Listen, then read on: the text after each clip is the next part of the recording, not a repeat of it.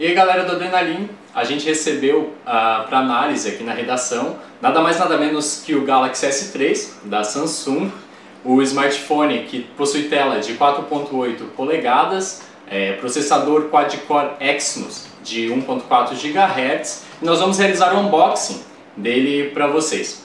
A gente pode ver que a embalagem dele é uma embalagem bem compacta mesmo, ela comporta o aparelho bem certinho na medida quando a gente pega ele aqui, a primeira coisa que a gente nota, além do, do tamanho da tela, claro, é o peso. Ele é bem leve mesmo, tem apenas 133 gramas.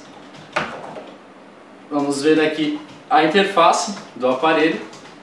Ele possui o sistema Android 4.0, ou se alguém preferir o Ice Cream Sandwich. Possui é, câmera frontal de, de 1.9 megapixels e câmera traseira de 8 megapixels que filma inclusive em Full HD. Temos também aqui o flash, a saída de som, a entrada para o fone de ouvido e embaixo também a conexão micro USB. Dá para ver que ele é um smartphone bem fino também, além de leve, ele é bem fino, difere muito de outros aparelhos que a gente está acostumado.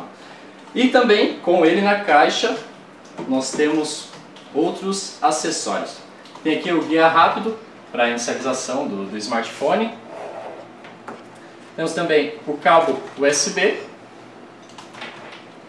o fone de ouvido, componentes para o fone de ouvido, quando aqueles ali ficam amarelos ou estragam, e o conector para o carregador, que é o conector usado como cabo USB.